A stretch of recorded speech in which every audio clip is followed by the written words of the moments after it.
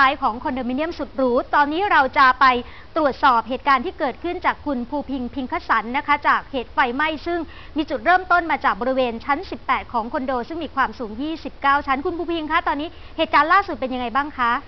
ค่ะเหตุการณ์ในขณะนี้นะคะ ก็มีผู้ได้รับบาดเจ็บทั้งหมด6รายค่ะ ส่งโรงพยาบาลสมิติเวชแล้วก็โรงพยาบาลกล้วยน้ำไทยแล้วก็เทพธารินนะคะเพลิงนั้นก็ยังคงลุกลามอยู่ค่ะ ตั้งแต่ชั้น 18 จนถึงชั้น 20 นะคะ และตอนนี้ก็ยังไม่สามารถจะควบคุมเพลิงได้ค่ะ ส่วนเฮลิคอปเตอร์ของเจ้าหน้าที่ตำรวจนั้นก็ยังคงบินบินวนอยู่รอบพื้นที่นะคะ แต่ไม่สามารถเข้าใกล้ตัวตึกได้ค่ะเนื่องจากใบพัดนั้น มีความแรงค่ะเกรงว่าอาจจะทำให้เพลิงนั้นลุกลามไปมากกว่าเดิมค่ะค่ะ ส่วนเจ้าหน้าที่ที่ขึ้นไปดับเพลิงนะคะ ขณะนี้ก็เริ่มที่จะทยอยลงมาค่ะเนื่องจากออกซิเจนนั้นหมดนะคะ ข้างบนนั้นก็ยังคงไม่มีอากาศและไม่มีออกซิเจนค่ะและได้รับรายงานข่าวว่ามีผู้ที่ติดอยู่ด้านบนนั้นสามรายค่ะ ค่ะ พอจะมี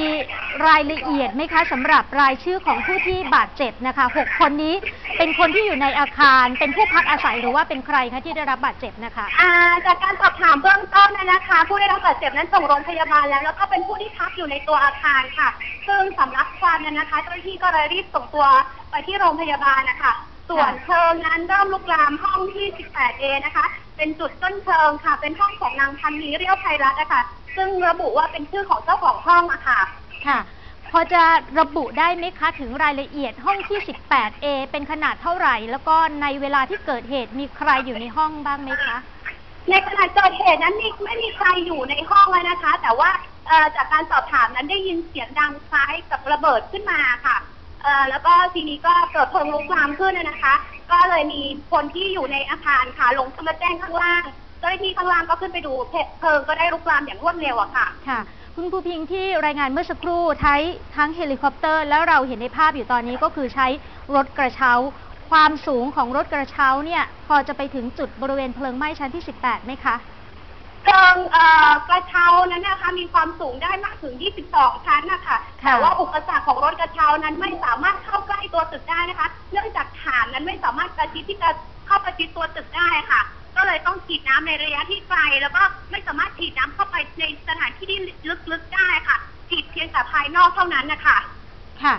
จนถึงตอนนี้บทบาทของตำรวจดับเพลิงวางแผนในการควบคุมเพลิงครั้งนี้ยังไงบ้างคะคุณภูพิงพอจะทราบไหมคะขณะนี้เจ้าหน้าที่ก็ยังคงระดมน้ำนะคะ เข้ามาเรื่อยๆอะค่ะ โดยใช้กระเช้าเนี่ยเป็นเอ่อเป็นหลักในการอ่าดับเพลิงนะคะ แล้วก็มีเอ่อเจ้าหน้าที่ดับเพลิงด้านในอะค่ะ ที่ก็พยายามอ่าที่จะระดมออกซิเจนนะคะ เพื่อที่จะขึ้นไปดับเพลิงข้างในตัวตึกอะค่ะ ส่วนเจ้าหน้าที่ตำรวจนั้นก็จะคอยดูสถานการณ์อยู่โดยรอบนอกแล้วก็รอบพื้นที่แล้วก็ ปิดถนนอะนะคะ ไม่ให้ประชาชนนั้นเดินทางเข้าออก เนื่องจากว่ามันเป็นจุดที่อันตรายนะคะ แล้วก็เป็นจุดที่เสี่ยงค่ะ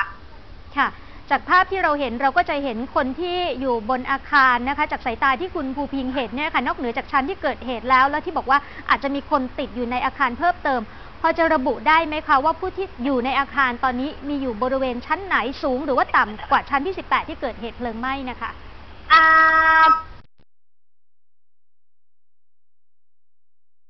มีก็มีผู้ที่อาศัยอยู่ชั้น 18 นะคะ มาแจ้งก็คือเป็นเด็กอะค่ะที่หายไป ตอนนี้เจ้าหน้าที่ก็กำลังจะ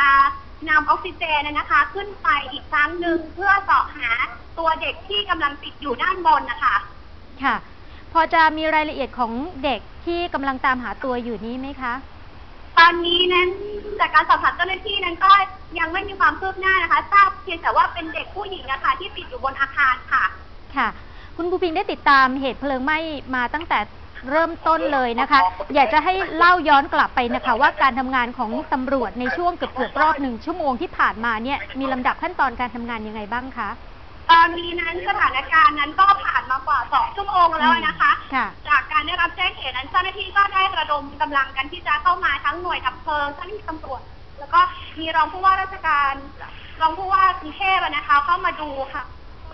ค่ะเร่งที่จะดับเพลิงอะนะคะ แต่ว่าอุปสรรคของการดับเพลิงนั้นคือว่าเอ่อพอขึ้นไปตัวตึกแล้วอะค่ะ มันจะไม่มีอากาศหายใจ ไม่มีออกซิเจนอืมเจ้าหน้าที่ที่เป็นหน่วยผจญเพลิงนั้นก็ต้องเอ่อใช้ออกซิเจนเป็นหลักในการที่จะขึ้นไปดับเพลิงอะนะคะ ส่วนกระเช้านั้นที่เอามาที่นำมาดับเพลิงนั้น ก็ไม่สามารถประชิดตัวตึกได้อะค่ะจึงค่ะ ตอนนี้ก็ยังไม่สามารถควบคุมเพลิงได้ให้ให้ดับสนิทได้ก็เวลาก็ผ่านมาประมาณสองชั่วโมงแล้วอะค่ะ ค่ะ เพลิงนั้นลุกลามอย่างรวดเร็วค่ะ ในภายในห้อง 18เองนะคะ ก็ลุกลามไปถึงชั้น9 20 แล้วค่ะตอนเนี้ยค่ะ ค่ะฝั่งหนึ่งก็คือความพยายามที่จะต้องควบคุมเพลิง แล้วความพยายามที่จะนำตัวผู้บาดเจ็บแล้วรอดชีวิตนะคะ มีการทำงานการประสานของเจ้าหน้าที่ยังไงบ้างคะ ก็จากการพูดคุยของเจ้าหน้าที่อะนะคะเอ่อก็กระเช้านั้นไม่สามารถจะประชิดตัวตึกได้ ก็ต้องใช้เจ้าหน้าที่ผจญเพลิงอะค่ะ ที่จะเดินขึ้นไปเสอบหาตามห้องอะค่ะสอบหาผู้ที่ยังสูญหายอะค่ะ แต่ว่าหลักๆนั้นก็คือเจ้าหน้าที่อะต้องใช้ออกซิเจนที่จะขึ้นไปเสอบหาตัวเด็กที่ยังติดอยู่ในอาคารนะคะ ค่ะ การใช้ออกซิเจนเพื่อเสาะหาผู้ที่ติดอยู่ในอาคารนี่คือกลัวว่าอาจจะหมดสติอยู่อย่างนั้นเหรอคะ ใช่ค่ะ เพราะว่าขึ้นไปข้างบนชั้น 18 นะคะ จะไม่มีอากาศหายใจรับควันนะคะควันจะหนามาก แล้วก็เจ้าหน้าที่นั้นต้องใช้ออกซิเจนตลอดเวลาที่จะช่วยในการหายใจอะค่ะ ค่ะ แล้วเจ้าหน้าที่กังวลเกี่ยวกับการทำงานเรื่องของการช่วยชีวิตนี่ยังไงบ้างไหมคะ นอกเหนือจากว่าควันที่หนาทึบนะคะออกซิเจนอาจจะน้อย ยังกังวลเรื่องของจุดอันตรายต่างๆ ที่อยู่ในคอนโดไหมคะเพราะว่าอย่างที่คุณภูเพียงรายงานไปว่ายังมีเสียงระเบิดดังขึ้นเป็นระยะนะคะค่ะจากการพูดคุยกับเจ้าหน้าที่เมื่อสักครู่เนี่ยนะคะ ก็ยังไม่มีความกังวลใดๆก็มีแค่เรื่องออกซิเจนเท่านั้นเจ้าหน้าที่ก็กำลังเอ่อ ระดมกันทำงานอย่างเต็มที่นะคะ แล้วก็ช่วยกันเสาะหาตัวเด็ก เพราะว่าตอนนี้เพลิงนั้นถึงแม้ว่าจะลุกไหม้อย่างรวดเร็วแล้วก็ลุกลามแต่ว่าก็เบาบางมากกว่าหนึ่งชั่วโมงที่แล้วแล้วอะค่ะ อืมค่ะ มีนอกเหนือจากพูดถึงผู้ว่าราชการกรุงเทพมหานคร มีรายงานว่าทางรองนายกและรัฐมนตรีว่าการกระทรวงมหาดไทยคุณยงยุทธวิชัยดิตนะคะไปอยู่ในจุดที่เกิดเหตุด้วย ระดับสูงได้ประสานยังไงบ้างคะในการที่จะสั่งการหรือว่ากำชับในเรื่องใดเป็นพิเศษนะคะ ก็ตอนนี้นะคะจากการสัมภาษณ์เมื่อกี้นะคะ ก็บอกว่าจะมีเจ้าหน้าที่จะจัดเจ้าหน้าที่ของสำนักโยธานะคะเข้ามาดูความปลอดภัยของตัวตึกอะค่ะ และภายในวันนี้นั้นก็จะประสานกับเจ้าของของคอนโดนะคะ ที่จะหาที่อยู่ให้กับผู้ที่อาศัยอยู่ในคอนโดนะคะ แล้วก็จะปิดตัวตึก ตั้งแต่เย็นนี้เป็นต้นไปเลยนะคะ ค่ะ แล้วก็ภายในวันพรุ่งนี้ด้วยอะค่ะ เพื่อที่จะให้เจ้าหน้าที่นั้นเข้ามาสำรวจดูว่าตัวอาคารนั้นมีความเสียหายมากน้อยแค่ไหน แล้วก็จัดการไว้ได้ว่าเป็นจุดอันตรายอะค่ะ ค่ะ ตอนนี้เดี๋ยวขอพักคุณภูพิงไว้สักครู่นะคะ อยากให้คุณภูพิงไปหาข้อมูลในเมื่อต้องสั่งปิด อาคารเลอ รัฟฟิเน่นะคะคอนโดหรูหราในสุขุมวิท 24 แล้ว บรรดาผู้ที่อยู่ในอาคารนะคะจะมีการดูแลกันอย่างไรจะหาที่พักกันอย่างไรรวมไปจนถึงผู้ที่บาดเจ็บถ้ามีข้อมูลเพิ่มเติมด้วยนะคะเพราะว่าใครที่มีญาติพี่น้องอยู่ในคอนโดมิเนียมแห่งนี้ก็อาจจะเกิดความกังวล ช่วงนี้ขอบคุณคุณภูพิงนะคะ เราไปตรวจสอบเรื่องของการจราจรกันบ้าง เพราะว่าเส้นอโศกสุขุมวิทปกติก็ติดหนักอยู่แล้วนะคะ สุขุมวิท 24 นั้นหลายคนจะรู้จักกันดีก็เป็นทั้ง สถานีรถไฟฟ้านะคะ แล้วก็ไม่ไกลจากนั้นก็คือศูนย์การค้าเอ็มโพเรียมด้วยนะคะ จะกระทบกับบรรดาธุรกิจที่อยู่รอบข้างหรือไม่ วันนี้เราจะไปพูดคุยกับเจ้าหน้าที่จากศูนย์วิทยุพระราม9นะคะ สวัสดีค่ะครับสวัสดีครับ ตอนนี้เล่าถึงเรื่องของการจราจรบริเวณโดยรอบก่อนนะคะ ว่าเป็นอย่างไรบ้างคะจากเหตุเพลิงไหม้ค่ะ ครับอ่าล่าสุดได้แจ้งได้รับแจ้งว่าทางด้านสุขุมวิทขาเข้าอะนะฮะค่ะอ่าการจราจรค่อนค่อนค่อนข้างจะติดขัดนะครับช่วงนี้ ค่ะรับค่ะผมเข้าคือฝั่งตรงข้ามกับ 24 ใช่ไหมคะ หรือว่าเป็นฝั่งเดียวกับอ่าทางถนน24 ฝั่งเดียวกับ 24 ครับฝั่งเดียวกับที่จะ24 เลยนะคะ จาก 24 ทะลุออกไปอ่าถนนสุขุมวิทขาเข้าอะครับผม ค่ะ ที่ว่าติดขัดเนี่ยนะคะ เพราะว่าตำรวจต้องกั้นพื้นที่จากไหนถึงไหนคะที่ยังไม่สามารถให้รถผ่านได้ หรือว่าอาจจะเป็นการสัญจรในซอยที่กระทบมาถึงสุขุมวิทที่อยู่ข้างนอกนะคะอ่าทางทางทางด้านในซอยสุขุมวิท24นะฮะจากจากทางด้านถนนพระราม4ค่ะมุ่งหน้าเข้ามาทางสุขุมวิท24นะครับ เข้ามาค่ะได้กลางซอยนะครับค่ะก็จะปิดการจราจรและให้ใช้ทางเบี่ยงออกสุขุมวิทอืม26นะค่ะฮะให้ใช้ทางเบี่ยงไม่สามารถที่จะอ่า ผ่านเส้นทางดังกล่าวได้นะครับ ค่ะครับส่วนทางด้านนอกทางสุขุมวิททางด้านนอกนะฮะด้านขาเข้าก็อ่ามีจำนวนรถอ่าของอ่าดับเพลิงของหน่วยกู้ชีพกู้ภัยต่าง ๆ นะครับ ก็ก็จะทำให้อ่าถนนเส้นดังกล่าวนั้นมีการจราจรคับข้างครับผมค่ะ มาถึงในช่วงค่ะ เช่นรับค่ะอ่าส่วนส่วนส่วนที่เกิดเหตุนะฮะช่วงนี้นะส่วนที่เกิดเหตุนะครับค่ะช่วงบริเวณชั้น18อ่า ทางสรพนะฮะได้จัดรถน้ำซึ่งเป็นลักษณะรถกระเช้าฉีดน้ำนะครับรถกระเช้าฉีดน้ำทูอ่ากระเช้าขึ้นไป และทำการฉีดน้ำเป็นระยะระยะนะครับ แต่เนื่องจากว่าตัวตึกกับตัวถนนนั้นค่อนข้างห่างกันค่ะอ่ารถกระเช้าฉีดน้ำความแรงดันแรงดันน้ำอ่าไม่เพียงพอนะครับอ่าน้ำไปตกอยู่แค่ช่วงบริเวณเทเลสของห้องต้นเพลิงนะครับ ไม่สามารถที่จะทะลุทะลวงเข้าไปภายในห้องได้นะครับค่ะ อ่าส่วนส่วนอ่าห้องมันดาวนั้นก็ได้รับแจ้งจากเจ้าหน้าที่สรพที่ขึ้นไปแล้วลงมานะครับ แจ้งว่าน้ำไม่เพียงพอนะครับ น้ำไม่เพียงพอที่จะเข้าไปถึงในจุดเกิดเหตุนะครับ ตรงนี้ก็จะใช้เครื่องหามหามนะฮะเครื่องหามหามขึ้นไปบนชั้น โอ้โห15 ค่ะ ซึ่งค่ะ ด้านหลังของชั้น 15 นั้นจะมีสระน้ำอยู่ค่ะ นะครับ มีสระน้ำอยู่ แล้วก็จะใช้เครื่องหามหามเนี่ยสูบน้ำจากสระน้ำค่ะ เลี้ยงเข้าไปที่ห้องต้นเพลิงค่ะ ดังกล่าวนะครับ ค่ะ ครับขณะขณะนี้ก็อยู่ในระหว่างปฏิบัติอยู่นะคค่ะ รับ จากข้อมูลที่เล่าเนี่ยนะคะ ฟังเรื่องของการที่บอกว่ารถกระเช้าไม่สามารถที่จะนำน้ำเข้าไปได้นะคะ แล้วก็อาจจะต้องใช้วิธีนำน้ำจากสระน้ำเนี่ยคือขึ้นไปจนถึงชั้น 15 ฟังวอลในเรื่องนี้มานานแล้วหรือยังคะอ่า ค่ะประมาณสักประมาณสักอ่าครึ่งชั่วโมงได้นะครับอืมค่ะ อ่าครึ่งชั่วโมงได้ที่ว่าเจ้าหน้าที่ขึ้นไปบนชั้น 15 แล้วไปเจอแหล่งน้ำคือลักษณะเป็นสระน้ำบนชั้น ค่ะ 15 นะครับ ค่ะอ่า แล้วทีนี้ว่า อ่าขาดเครื่องอาหารก็ตอนนี้ใช้เครื่องอาหารเนี่ยขึ้นไปค่ะอ่าชั้นชั้นชั้น15ช่วงบริเวณสระน้ำค่ะ นะครับแต่นี้ว่าสายที่เอาขึ้นไปนั้นไม่พอค่ะช่วงนี้วิ่งลงมาเอาสายขึ้นไปอีกสองเส้นนะค่ะ เป็นลักษณะสายหนึ่งนิ้วครึ่งนะหนึ่งนิ้วครึ่งเพื่อจะรีเลย์น้ำเข้าไปในห้องอาจุดเกิดเหตุดังกล่าวครับผม อืมก็ตอนนี้มีความคืบหน้าไหมคะว่าตกลงนำน้ำจากชั้น 15 ที่อยู่ในสระเนี่ยขึ้นไปได้แล้วหรือยังทางศูนย์อ่ามีขณะข้อนี้มูลกำลังกำลังเริ่มดำเนินการอยู่ครับเริ่มดำเนินการอยู่นะครับอืมค่ะอ่าส่วนส่วนจะใช้น้ำได้อ่าจะใช้น้ำได้เมื่อไหร่ ก็คงจะต้องต้องต้องรอดูอีกสักพักนะครับผมค่ะ เดี๋ยวเราจะกลับมาประเด็นนี้นะคะ แต่ว่าทีนี้มาถึงเรื่องของผลกระทบนะคะ จากควันที่เราเห็นมาร่วม2ชั่วโมงแล้วนะคะ มีผล ได้รับแจ้งของบอที่ให้มีการอพยพอาคารที่อยู่ข้างเคียงไหมคะเพราะว่าถนนในซอยสุขุมวิทก็ถูกปิด เพราะว่าเหตุเพลิงไหม้ไปแล้วนะคะ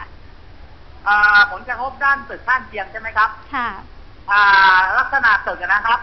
อ่าทางด้านปีกซ้ายทางด้านปีกซ้ายซึ่งซึ่งเรามองจากทางทางทางถนนนะฮะหันหน้าเข้าหาตัวตึกแล้วครับค่ะทางด้านปีกซ้ายจะมีอาคารเป็นลักษณะคอนโดเหมือนกันห่างจากตัวตึกเกิดเหตุด้านหน้าประมาณ ประมาณหกหกถึงเจ็ดเมตรนะครับ ค่ะ แต่ว่าไม่ได้รับผลกระทบเนื่องจากว่าอ่าฝุ่นควันนะนะครับค่ะ อ่าลมพัดไปอีกทางหนึ่งค่ะ อ่าลมพัดไปอีกทางหนึ่งซึ่งพัดมาทางด้านปีกขวา ค่ะ ส่วนทางด้านปีกขวานั้นเป็นที่โล่งนะฮะเป็นที่โล่งมีอาคารเอ่อที่ต่ำกว่าค่อนข้างค่ะ มากนะครับ ส่วนอาคารสูงระดับไล่เลี่ยกันนั้นอยู่อยู่ค่อนข้างห่างครับค่อนข้างห่างคงไม่ได้รับผลกระทบใดๆครับค่ะ วันนี้ต้องขอบคุณนะคะ เดี๋ยวอีกสักครู่คงจะ ติดต่อไปอีกครั้งนะคะ โดยเฉพาะอย่างยิ่งการใช้วิธีนำน้ำจากสระว่ายน้ำจากชั้น 15 เหตุเพลิงไหม้นั้นอยู่ชั้น 18 นะคะ เท่ากับว่าจะต้องนำน้ำขึ้นไปความสูงประมาณ 3 ชั้น หลังจากที่บริเวณรถกระเช้านั้นยังไม่สามารถที่จะให้ท่อดับเพลิงไปถึงจุดเกิดเหตุในอาคารห้อง 18A ได้นะคะ ช่วงนี้เราจะไปคุยกับแพทย์หญิงมาลินีสุขเวชวรกิจ รองผู้ว่าราชการกรุงเทพมหานครนะคะ สวัสดีค่ะ ท่านรองผู้ว่าคะ สวัสดีค่ะ ค่ะ ตอนนี้พอจะมีรายละเอียดแล้วหรือยังคะในเรื่องของโครงสร้างอาคารนะคะ ว่าระบบดับเพลิงเป็นอย่างไรแล้วทำไมถึงได้ยังคงไม่สามารถที่จะคุมเพลิงไว้ได้นะคะเอ่ออันนั้นยังจะอยู่ในเรื่องของการต้องสอบสวนกันนะคะค่ะ นะคะซึ่งค่ะสำนักโยธาเนี่ยจะต้องเข้าไปดูอย่างละเอียดนะคะนะคะค่ะทางค่ะเอ่อสำนักป้องกันภัยนั้นเนี่ยก็เข้าไปดับเพลิงให้ได้ ค่ะ ก็สงบเรียบร้อยหมดแล้วค่ะ อ๋อตอนนี้ดับเพลิงไว้ได้แล้วเหรอคะเรียบร้อยหมดแล้วค่ะ อืมค่ะ คุณหมอคะแล้วมีเรื่องของผู้ที่ได้รับบาดเจ็บไหมคะ คุณหมอได้ก็มีข้ออยู่มูสลองคนค่ะ เล็กๆน้อยๆค่ะค่ะ ก็ไปโรงพยาบาลพาไปโรงพยาบาลแล้วค่ะ อืมอาการเกิดจากอะไรคะที่ได้รับบาดเจ็บนะคะเออไม่ไม่ยังไม่ทราบรายละเอียดค่ะ แต่ได้รับรายงานว่าไม่เป็นอะไรมากค่ะ ค่ะ ในขณะเดียวกันนะคะ มีรายงานว่าทางกรุงเทพมหานครได้สั่งให้ปิดอาคารนี้แล้วนะคะ มีมาตรการรองรับยังไงคะสำหรับคนที่อาศัยอยู่ในอาคารที่อาจจะไม่มีก็ที่พักคือในคืนสำนักโยนี้ธาเนี่ยต้องสั่งปิดแล้วก็ไปสำรวจค่ะว่าตรงไหนปลอดภัยตรงไหนที่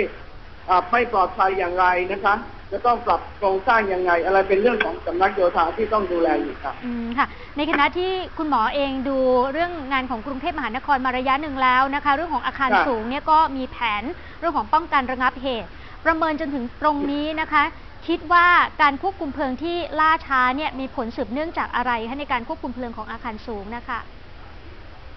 คือเอ่อเรามีรถกระเช้าเรา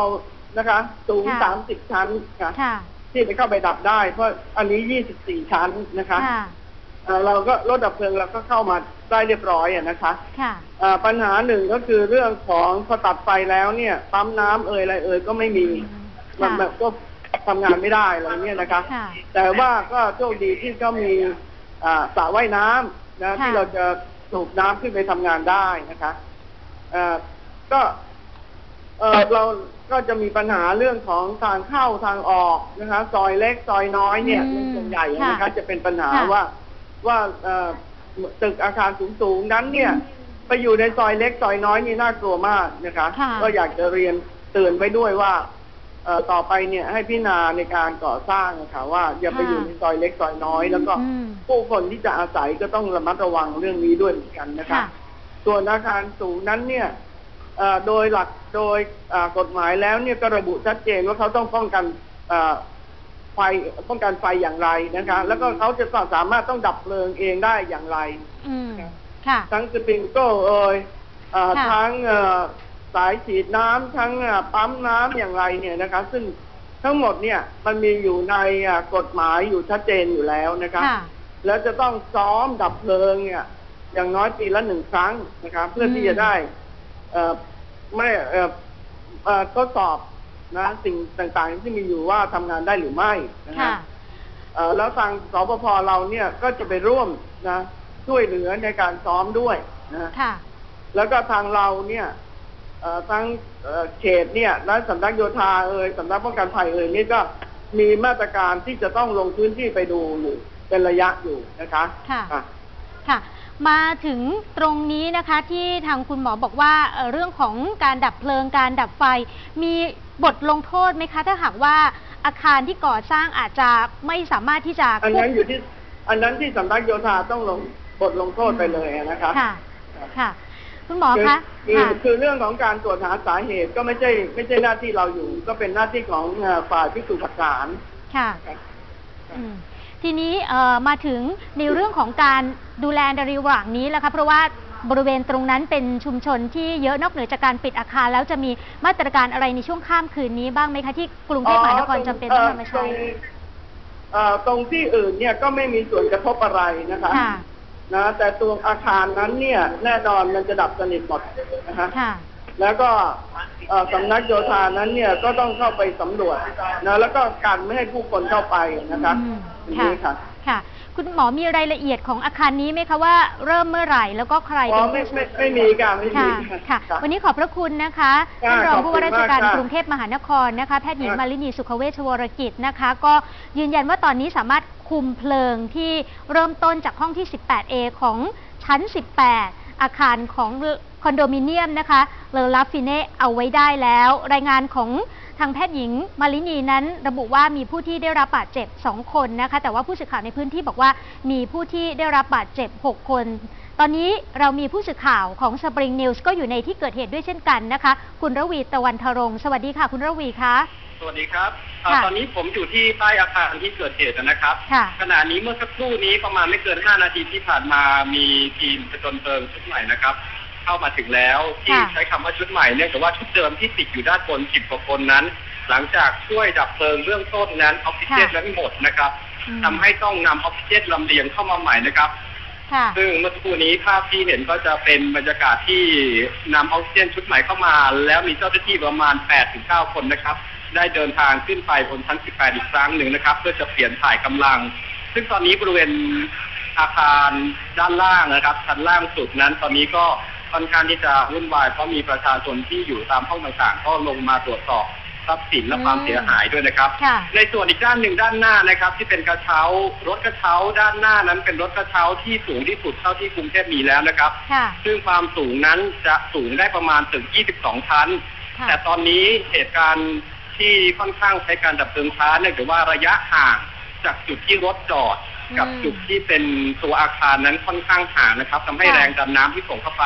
ทำให้ไม่เข้าไปถึงตรงกลางนะครับ แต่เบื้องต้นมีรายงานเข้ามาว่าเพลิงนั้นควบคุมได้แล้วนะครับ แต่สิ่งที่ยังปะทุอยู่ด้านในทำให้ควันนั้นค่อนข้างที่จะออกมามากในขณะนี้ ประชาชนที่อยู่ด้านบนนะครับ ยังค่ะมีบางคนติดอยู่ มีรายงานตัวเลขยังไม่แน่ชัดนะครับ ในขณะนี้เมื่อสักครู่นี้พบญาติของผู้ที่ติดอยู่ด้านบนเป็นชาวไต้หวันอีกหนึ่งคนนะครับ ซึ่งค่ะตอนนี้ยังติดต่อบุคคลคนนี้ไม่ได้นะครับ เป็นชายวัยกว่า 50 ปีนะครับญาติพยายามที่ติดต่อก็โทรศัพท์เข้าไปแล้วไม่รับโทรศัพท์ขณะนี้นะครับ ตอนนี้ส่วนข้อมูลผู้ติดขอตรวจเช็คอีกครั้งหนึ่งครับถึงจะรายงานต่อไปทีค่ะ จากที่เห็นว่าบางคนอาจจะห่วงทรัพย์สินของตัวเองบ้างนะคะ เจ้าหน้าที่ดูแลยังไงคะเพราะว่าอาคารนี้ที่สุดแล้วกรุงเทพมหานครบอกว่าคืนนี้อาจจะต้องปิด แต่แน่นอนว่าบางคนที่ต้องอพยพมาอย่างเร่งด่วนก็คงจะห่วงทรัพย์สินของตัวเองเจ้าหน้าที่จัดการยังไงบ้างคะ ตอนนี้ชั้นล่างที่เป็นล็อบบี้ของอาคารนะครับโดยบริเวณตรงนี้เนี่ยจะจัดเป็นศูนย์ซึ่งจะมีหน่วยงานของเจ้าหน้าที่อาคารแล้วก็หน่วยงานดับเพลิงหน่วยงานของกทมนั้น รวมกันอยู่จุดนี้ก็มีประชาชนบางท่านเนี่ยเดินเข้ามานะครับ แต่ว่ายังไม่ทั้งหมดเพราะว่าส่วนใหญ่นั้นอยู่ระหว่างการเดินทางแต่มีการโทรเข้ามาที่ตรงตัวอาคารนะครับ ซึ่งรับสายได้อยู่ แล้วก็ให้แจ้งว่าตัวเองอยู่ห้องไหนอย่างไรนะครับ แล้วก็ส่วนการเดินทางขึ้นไปตรวจสอบตอนนี้ถูกระงับไว้หมดนะครับห้ามทุกคนขึ้นที่เป็นประชาชนเจ้าของห้องนะครับ ซึ่งค่ะทางทางอาคารนั้นก็แจ้งว่าจะพยายามตรวจสอบให้เร็วที่สุดแต่คาดว่าน่าจะเป็นพรุ่งนี้นะครับ ซึ่งวันนี้ก็รอให้ทุกอย่างสงบโดยเฉพาะเรื่องของกลุ่มควันที่หนาแน่นในขณะนี้บนชั้นที่แปดครับ ค่ะ เท่ากับว่าตอนนี้คือยืนยันว่าควบคุมเพลิงไว้ได้แล้วนะคะครับ มีรายงานก่อนหน้านี้เราได้พูดคุยกับคุณภูพิงค์นะคะว่ายังคงเสาเสาะหาเด็กคนหนึ่งนะคะ บอกว่าเป็นเพศหญิงแล้วก็ยังไม่ทราบรายละเอียดด้วยนะคะ มีข้อมูลไหมคะว่าใครที่ติดอยู่ในอาคารแล้วเจ้าหน้าที่ช่วยเหลือออกมาได้เพิ่มเติมนะคะขณะนี้ข้อมูลค่อนข้างสับสนนะครับ เนื่องจากมีทั้งเจ้าหน้าที่บริเวณใต้อาคารด้านหน้า แล้วก็ด้านข้างอาคารนะครับทำให้หลายข้อมูลนั้นยังสับสนมากมีเรื่องที่หน่วยหลายหน่วยงานนะครับ แต่ข้อมูลยืนยันเหมือนกันก็คือว่าเป็นเด็กคนหนึ่งนะครับ แต่ว่าค่ะ เรื่องของชื่อหรือว่าจุดที่ติดอย่างชัดเจนนั้นยังไม่ได้รับการยืนยันอย่างแน่นอนครับ เราพยายามค่ะตรวจสอบอีกครั้งหนึ่งครับ ค่ะ ช่วงนี้คขรับอบคุณคุณระวีตะวันทรงค์นะคะ ก็เป็นอีกจุดหนึ่งที่ผู้สื่อข่าวของ Spring News ตอนนี้อยู่ใต้อาคารของคอนโดมิเนียมเลอลาฟิเน่เลยนะคะ แล้วก็เห็นความเคลื่อนไหวนะคะ ไม่ว่าจะเป็นการทำหน้าที่ของหน่วยดับเพลิงที่จะต้อง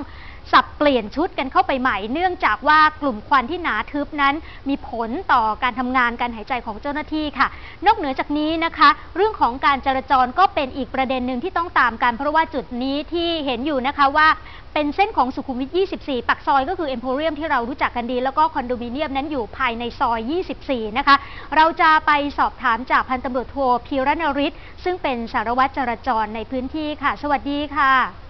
ครับผมสวัสดีครับครับ ค่ะท่านสารวัตรเขาตอนนี้การจราจรเอาจากในซอยของสุขุมวิท 24 ก่อน จากที่เราหลายคนจะคุ้นก็คือสถานีรถไฟฟ้านะคะ พอเข้าซอยไปจนถึงเลอลาฟิเน่เนี่ยมีระยะทางไกลกันไหมคะระยะทางประมาณวันถึง 500 เมตรครับ ตอนตอนนี้นี่เพลิงได้ควบคุมเพลิงได้แล้วนะครับ ค่ะ ครับผมแล้วก็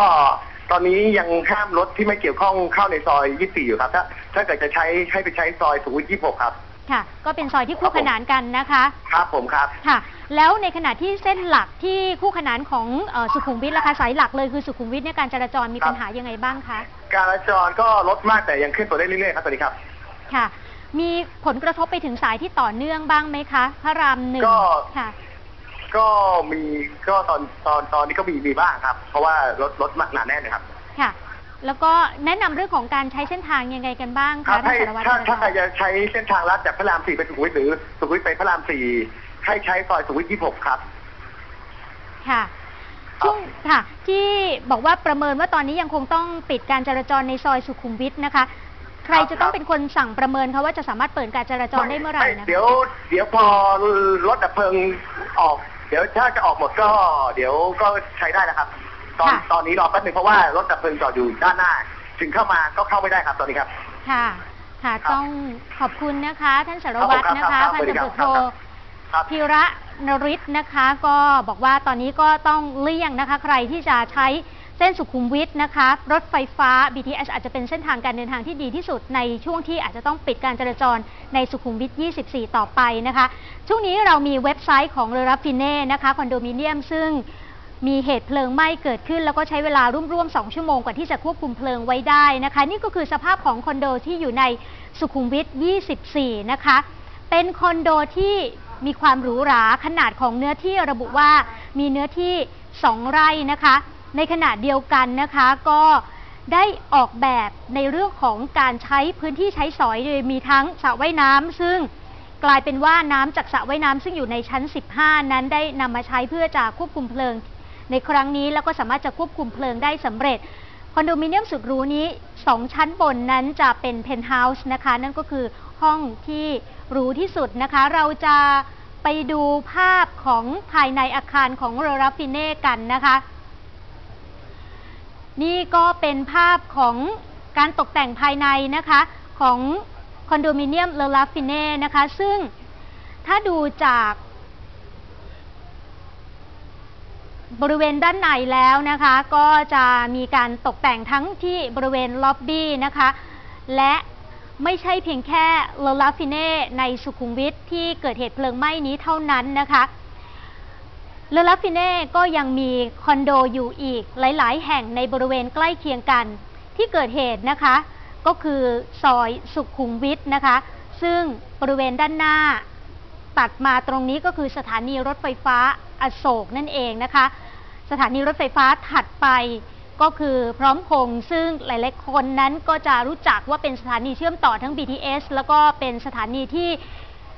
สำหรับผู้ที่ใช้บริการของห้างสรรพสินค้า Emporium ได้ด้วยนะคะ แต่อีกฝั่งหนึ่งฝั่งตรงข้ามของ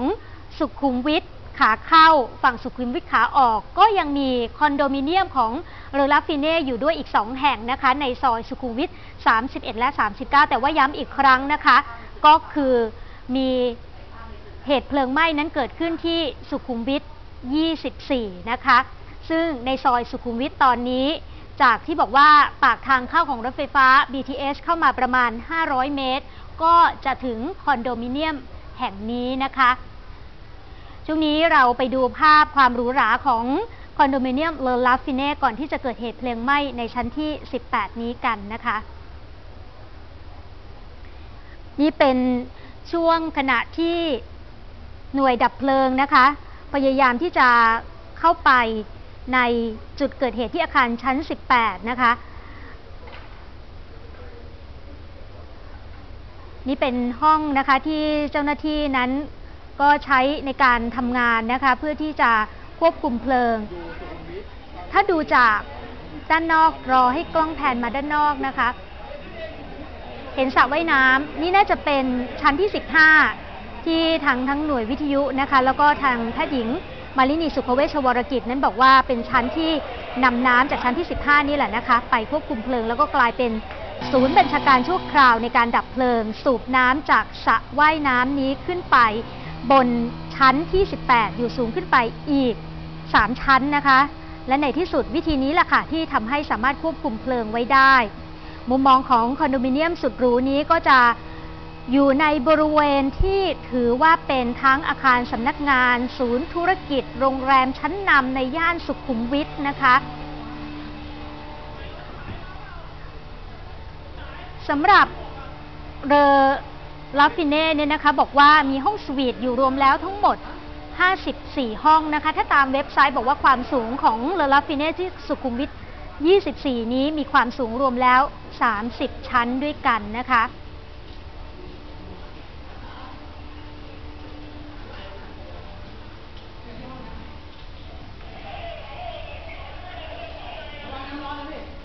นี่ เป็นภาพเดียวนะคะที่สถานีโทรทัศน์สปริงนิวส์นั้นสามารถบันทึกมาได้ในขณะที่เจ้าหน้าที่ก็ต้องใช้วิธีนำท่อสูบน้ำนะคะ แล้วก็ผ่านท่อดับเพลิงเนี่ยเข้าไปควบคุมจนกระทั่งในที่สุดแล้วก็ควบคุมเพลิงที่เกิดขึ้นในชั้นที่ 18 ไว้ได้สำเร็จค่ะ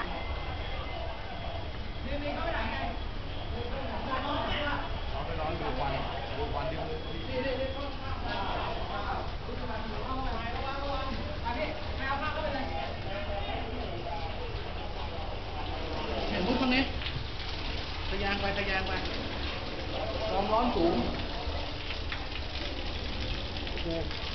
เข้าห้องเลยน่าจะเป็นอาคารของห้องที่เกิดเหตุ ซึ่งก็ยังไม่ทราบนะคะว่ามาจากสาเหตุใดแต่ว่าความเสียหายนั้นเป็นบริเวณกว้างนะคะ หลังจากเกิดเหตุเพลิงไหม้ขึ้นเมื่อสองชั่วโมงที่ผ่านมานี้นะคะ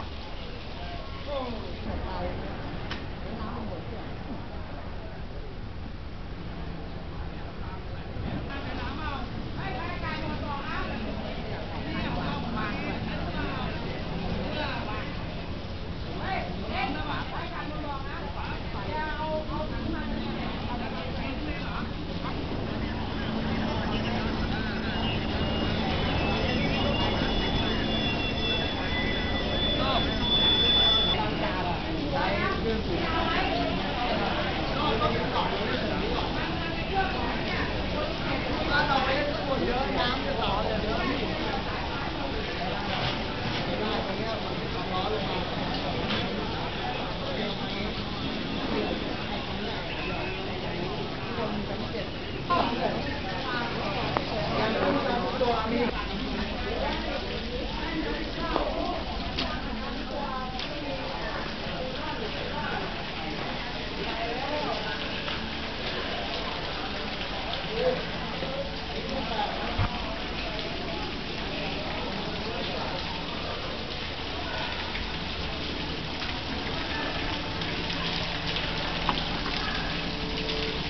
เรา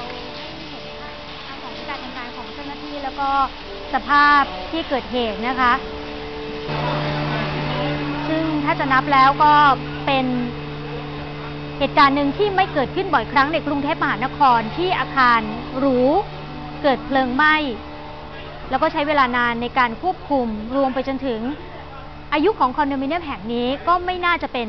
ตึกเก่านะคะ น่าจะเป็นอาคารที่เพิ่งเปิดขึ้นได้ไม่นานนะคะ คำถามแน่นอนค่ะฝ่ายโยธาสำนักโยธาของกรุงเทพมหานครก็คงจะต้องไปตรวจสอบต่อไปมีหลาย ๆ ประเด็นที่ยังจะต้องตามกันต่อนะคะ ไม่ว่าจะเป็นเรื่องของระบบในการที่จะดับเพลิงสปริงเกอร์นะคะมาตรฐานของอาคารสูงต่างๆนะคะ ว่ามีครบถ้วนตามบทบัญญัติของกรุงเทพมหานครหรือไม่นะคะค่ะ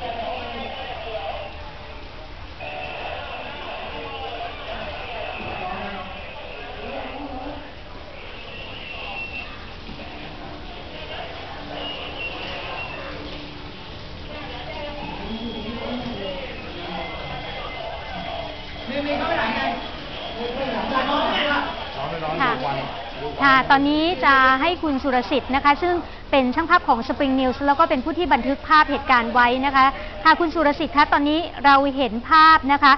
การที่เจ้าหน้าที่นั้นก็ใช้น้ำจากบริเวณสระว่ายน้ำซึ่งก็น่าจะเป็นสระว่ายน้ำส่วนตัวของเจ้าของห้องพักสุดหรูในชั้น 15 นี้นะคะ แล้วก็ต่อสายขึ้นไปที่ชั้น 18 อยากให้คุณสุรสิทธิ์เล่าการทำงานของเจ้าหน้าที่หน่อยค่ะ ครับ ก็คือเจ้าหน้าที่ดับเพลิงนะครับ ก็คืออย่างที่อ่าสูบน้ำก็คือจากชั้น 17 ของอืมของอาคารค่ะนะครับ จะค่ะ เป็นจะเป็นอีกฝั่งหนึ่งจากจุดที่อ่าชั้น 18 ที่เกิดเหตุไฟไหม้อะครับผม ค่ะ ครับแล้วก็อย่างภาพที่เห็นด้านบนเนี่ยก็คือจะเป็นภาพเป็นตอนนี้เหลือแต่ตอหมดแล้วนะครับ ค่ะ ไฟได้ไหม้ไปหมดก็คือชั้น 18 ตรงนี้จะเป็น จะมีเป็นชั้นครึ่งอะนะครับผม ค่ะ ฮะแต่ได้ถูกไฟเผาไหม้ทั้งหมดเลยค่ะครับเอ่อแต่ว่าในตัวในก่อนที่ผมจะขึ้นไปเนี่ย คือมีเจ้าหน้าที่ของดับเพลิงนะครับ เป็นคนค่ะพาขึ้นไปก็คือจะขึ้นลิฟต์ไปที่ชั้น17ค่ะจะเป็นอีกอีกอ่าอีกฝั่งหนึ่งอีกฝั่งหนึ่งของทางด้านชั้น18แล้วนะครับ แล้วก็ออกไปทาง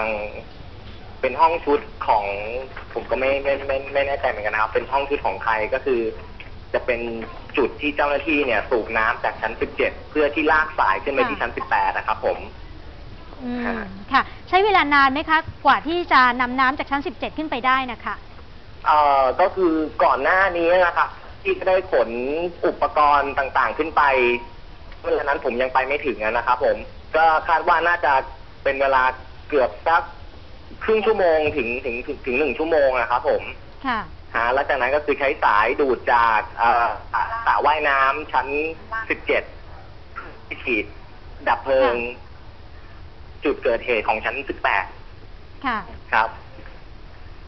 หลังจากที่เจ้าหน้าที่สามารถนำน้ำได้ขึ้นไปแล้วที่คุณสรสิทธิ์ขึ้นไปด้วยนะคะเขาวางแผนกันวางแผนกันยังไงบ้างเขาว่าจะต้องเริ่มจากจุดไหนก่อนในการทำงานนะคะ ก็คือ จากหน้าประตูห้องชั้น 17นะนะครับ ก็คือเจ้าหน้าที่ก็จะเปลี่ยนจะมีอยู่ประมาณ 40กว่า40กว่าคนนะครับ ผม ค่ะ แล้วก็จะผัดกันผัดกันฉีดคนละประมาณ 15 นาทีถึง 20 นาที แล้วก็จะเป็นอีกชุดหนึ่งเข้าไปก็คือไล่จากอ่าทางด้านชั้น 10 17 ก่อนใช่ไหมครับ ก็คือจากชั้น17ค่ะฉีดตามบันไดอะครับ ขึ้นไปอืมค่ะ จนถึงที่ที่ห้องที่เกิดเหตุ ค่ะ ครับผม แล้วก็จะมีช่วงเจ้าหน้าที่ที่อยู่ด้านล่างก็คอยฉีดน้ำจากรถกระเช้า มาช่วยเสริมอีกทีหนึ่งจากด้านนอกอะครับผมค่ะ ฮะ ซึ่งในระหว่างการทำงานเพราะว่ามีรายงานว่าอาจจะมีคนที่ติดอยู่นะคะ เจ้าหน้าที่เขาประสานกันยังไงบ้างคะระหว่างหน่วยบจนเพลิงกับผู้ที่ต้องช่วยเหลือผู้ที่อาจจะติดอยู่ข้างในนะคะ ก็คือเจ้าหน้าที่เขาจะมีวอนะครับค่ะ ประสานงานกันอยู่อะครับผมแต่ช่วงณเวลานั้นเนี่ยผมเอ่อ ไม่ไม่ไม่ไม่ได้ฟังหรือว่าสนใจอย่างอื่นอยู่ครับ ก็คือเราทำติดตามก็คือเหมือนว่าเราถ่ายภาพอะครับ ค่ะ หาก็คือไม่ไม่ไม่ค่อยได้ฟังถึงเกี่ยวกับว่าคนเจ็บณตอนนั้นนะครับ เพราะว่าจะมีนักข่าวเอ่อที่อยู่ส่วนด้านล่างคอยติดตามเรื่องเรื่องคนเจ็บอยู่ อืมแล้วค่ะตอนนี้ผมกำลังจะมุ่งหน้าไปที่โรงพยาบาลอิเช่นะครับ ค่ะ ก็กำลังเดินทางอยู่นะคะ ครับพอจะบอกความเสียหายได้ไหมคะว่ากินพื้นที่กว้างแค่ไหนมีกี่ห้องที่ถูกไฟไหม้ไปในครั้งนี้นะคะ เอ่อ ความกว้างของห้องใช่ไหมครับ ค่ะ ลักษณะความกว้างก็อยู่ที่ประมาณห้าสิบถึงเจ็ดสิบเมตรนะครับ อืม ค่ะ ฮะ แล้วก็จะเป็นเนื้อที่ชั้นครึ่ง ค่ะ เป็นอาคารชุดนะครับผม แล้วก็ค่ะ แต่ว่า ณตอนที่ผมขึ้นไปก็คือไฟได้ไหม้เอ่อทุกอย่างเสียหายหมดค่ะ ครับ ค่ะเอาละค่ะ ตอนนี้ต้องขอบคุณนะคะ คุณสุรสิทธิ์ รัฐกิติกุลนะคะ ซึ่งก็อยู่ในระหว่างการเดินทางไปที่สมิติเวชซึ่งก็เป็นจุดหนึ่งที่ได้นำผู้ที่ได้รับบาดเจ็บนั้นส่งโรงพยาบาลถ้ามีความคืบหน้าของการรักษาพยาบาลเราจะมีรายงานกันที่อีกครั้งนะคะ ส่วนนี้ก็เป็นเว็บไซต์นะคะยังอยู่ที่เลอ รัฟฟิเน่นะคะ ตามที่เราเข้ามาดูในเว็บไซต์นี่ก็คือผู้บริหารของอสังหาริมทรัพย์ที่มีอยู่ 3 แห่งในบริเวณใกล้เคียงกัน แต่ว่าจุดที่เกิดเหตุนั้นอยู่ที่บริเวณซอยที่ 24 นะคะ โดยระบุของรายละเอียดไปแล้วนะคะว่าเลอ รัฟฟิเน่นั้นมีอยู่ 3 แห่งด้วยกัน ส่วนประวัติของบริษัทนี้นะคะเลอ รัฟฟิเน่นั้นเป็นของคุณพิมพาวิราบุตรการนะคะ ซึ่งดิฉันขออภัยเพราะว่าเป็นภาษาอังกฤษอาจจะออกชื่อผิดพลาดนะคะ เป็นผู้ที่ก่อตั้งเริ่มมาตั้งแต่เมื่อปี 1989 นะคะ โดยเฉพาะอย่างยิ่งนะคะบอกว่าบางส่วนของชั้นของโรงแรมที่บอกเป็นห้องสุดหรูเนี่ยบางชั้นจะมีสระว่ายน้ำส่วนตัวอย่างที่เราเห็นในอาคารชุด อาคารหนึ่งที่มีสระว่ายน้ำส่วนตัวอยู่บนชั้น 17 นะคะ เนื้อที่ของอาคารห้องชุดแต่ละชุดเนี่ยมากที่สุดคือ 350 ตารางเมตรนะคะ นั่นก็เป็นเหตุผลที่ทางคุณสุรสิทธิ์บอกว่าความกว้างของห้องนั้นน่าจะมีขนาดมากถึง 70 เมตร เลยทีเดียวนะคะ นี่เป็นภาพของตัวคอนโดมิเนียมโลลาฟิเน่นี้นะคะ ก็จะมีอ่างจากุซี่ให้นะคะ แล้วก็จะมีเพนท์เฮาส์แล้วก็ที่พักที่มีความเป็นส่วนตัว